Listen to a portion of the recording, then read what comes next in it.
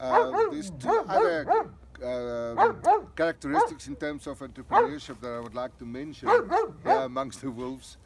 But uh, the phases that they're going through, uh, that is so applicable to entrepreneurship.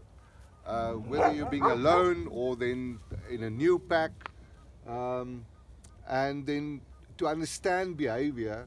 For instance, when they're standing like this, not staring me into the eyes, it is a communication of acceptance. It is it's okay to be here.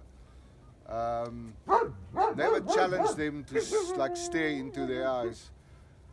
Uh, so that's the phases that you got to go through. That's so important to realize for the entrepreneur. Every single thing that I've learned from the wolves is like applicable. It's like uh, exploring the, the, the, the, meaning behind it. For instance, uh, perceptions uh, can be so wrong.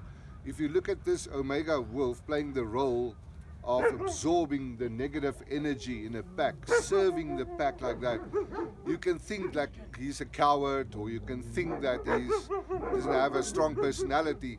And then in the next phase, you have this leader of the pack. Um, and for some reason, there's a lot of syn synchronicity with the development of an entrepreneur.